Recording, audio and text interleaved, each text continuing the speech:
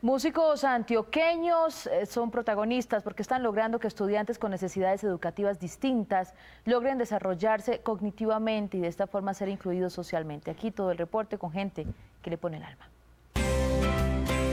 Bancolombia y Caracol, gente que le pone el alma. Desde que Juan Delgado ingresa a alguno de los salones de clase que frecuenta visitar con su guitarra, todo es distinto para estos niños. En Medellín, a través de las trovas, un grupo de artistas se ingenió la forma de enseñar y a la vez ofrecer como terapia para niños con discapacidad cognitiva los versos y coplas propias de la improvisación del trovador. El avance en su recuperación es notorio.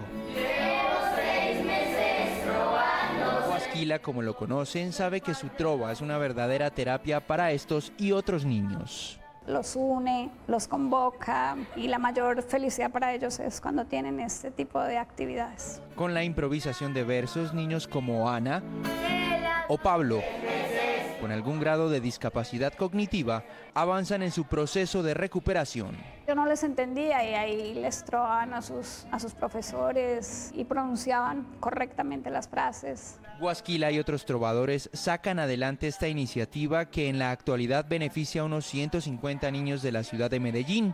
Yo le pongo el alma a que los niños le cojan amor a lo que en realidad están aprendiendo. Ana Restrepo es una de las estudiantes más aventajadas.